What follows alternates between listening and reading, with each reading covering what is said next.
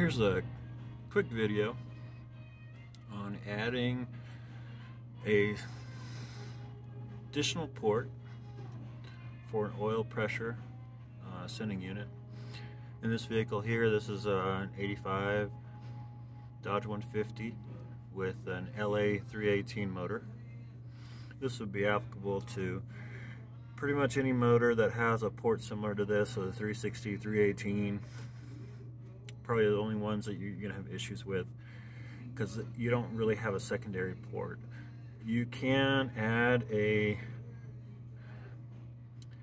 adapter to your oil filter and um, have a port on there. They do sell the 90 degree oil filter adapters, but they're a little bit tricky to do on a four-wheel drive um, you just don't have much room to change the direction of that oil filter. So the quickest, easiest way to add another port, now the th LA318 has actually two. It has the the big sender and they, they sell some different ones that are a little bit smaller than this um, for the mechanical gauge and then I believe there's an idiot light in that vehicle too, in this vehicle but I wanted to leave all that alone and try to leave it factory and then add a another gauge.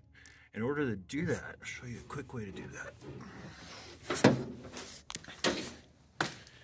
So the quickest way to do that, to add another gauge, mechanical gauge, is to go to your hardware store and get a brass T, uh, 1 8 um, This is a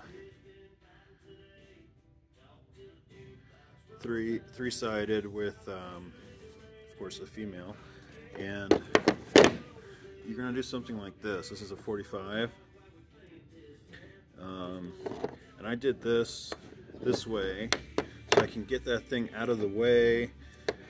Um, from the distributor, it is so close to that distributor that it actually, the vacuum port touches this. So I would need to do, I would have needed to probably do anything, do something anyway, just to move out of the way if I didn't get a smaller one of these. But that's, that's the quick fix for you there. So that's less than $10 in parts to get to making a T.